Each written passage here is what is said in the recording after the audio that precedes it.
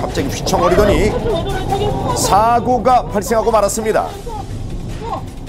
정신이 워낙 없어서 혼미해 가서 혼미해서 혼미해 가지고 말을 못 하더라고요 제대로 괜찮다고만 얘기를 해가지고 영상을 살펴보면 이 흰색 승용차가 차로 가운데로 달리지 못하고 계속 한쪽으로 기울고 있는 걸 알 수 있습니다. 예. 차체가 균형을 잃고. 흔들리기 시작하지만 잘 보십시오. 충돌 직전까지도 브레이크를 전혀 밟지 못했습니다. 졸음운전이 치명적인 이유가 바로 여기에 있습니다. 고속도로를 주행 중입니다. 그런데 저 멀리 지금 검은 연기가 보이는 것 같은데요. 제보자가 가까이 갈수록 생각보다 더 넓은 구간에서 연기가 나고 있었습니다. 온천지가 다 검은 연기로 뒤덮여가지고 앞을 분간하기가 좀 힘든 상태였었어요. 무슨 일일까요? 그 연결하는 쪽으로 진입을 하다 보니까 차량 쪽에서 대형 트럭 쪽에서 이렇게 화재가 나 있는 게 목격이 됐죠. 네, 맞은편 도로에서 차량 화재가 발생한 건데요. 당시 촬영된 영상을 보면 도로에서 시뻘건 화염이 계속 치솟고 있었습니다. 2차로로 주행하던 차가 3차로로 주행한 차로 그 추돌을 한 건데 페인트 한 100여 통이 실려 있었는데 아하. 충돌 사고 직후 트럭은 방음벽 쪽으로 밀려나는데요. 그러면서 차량과 방음벽 사이에서 스파크가 발생했고 100여 통의 페인트는 연쇄적으로 폭발을 했습니다. 늦은 시간까지 화재 진압을 위해 도로가 통제되면서 혼잡을 빚기도 했는데요. 사고 차량은 완전 전소됐습니다. 그때 추돌한 차 운전자 진술은 뭐 몸이 많이 아팠다고 그랬는데 그 당시에 저희 추적은 혹시 졸음운전이 아닌가 교통사고 사망자 3명 중 1명이 졸음운전 때문입니다.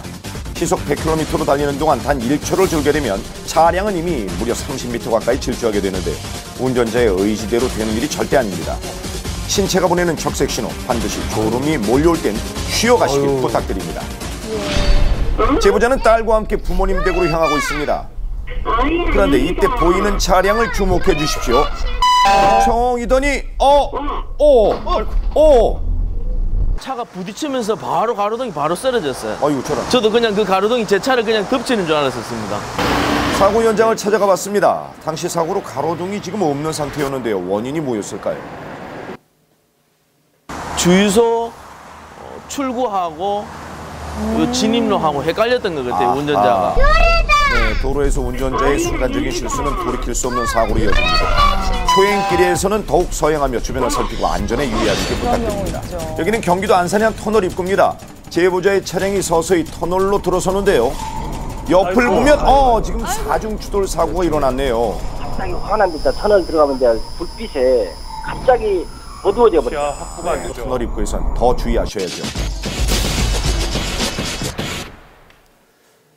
이번 제보자는 유치원 버스 기사님이라고 하는데요. 직접 사고를 당하신 겁니까? 예, 안녕하세요. 저 차 이상한데 이상한데 좀 사고 날 것 같은데 그러면서 저 같은 경우 바로 브레이크를 밟았고 제보자의 출근길입니다. 앞서 달리고 있는 트럭 한 대가 보입니다. 그런데 이 트럭이 지금 잘 가는 듯 했는데 어 휘청이더니 갑자기 차체가 돌면서 어 전복되고 말았습니다. 지금 몇 바퀴 구르기까지 했는데요. 운전자가 괜찮을지 모르겠습니다. 사고 현장을 지나던 운전자들이 갓길에 차를 세우고요. 어, 트럭으로 다가가 도움을 줍니다. 그래서 놔두면 안 되겠다 싶어갖고 그 다른 승용차 운전자 분하고 같이 일단 허리 쪽한번 잡고 그다음에 상체 잡고 일단은 그- 이렇게 차량에서 빼냈죠. 위험하니까 사고 날 수도 있으니까. 네, 차에서 빠져나온 트럭 운전자는 왜 사고가 났다고 말하던가요? 사고 원인에 대해서는 딱 한마디 하시더라고요. 타이어가 터졌다. 그분도 느끼시더라고요. 아하, 트럭의 한쪽 타이어가 터지면서 조향 능력을 상실하게 된 건데요. 한순간 균형을 잃어버리고 무게중심이 한쪽으로 쏠리면서 전복 사고로까지 이어진 겁니다. 아주 위험한 상황인데요. 그런데 주행 중 타이어가 터지는 일이 결코 드문 경우가 아닙니다. 고속 주행 중 이와 같은 사고가 발생한다면 아무리 숙련된 운전자라도 차량을 통제할 수 없게 됩니다. 특히 공기압이 적을 경우 더욱 치명적입니다.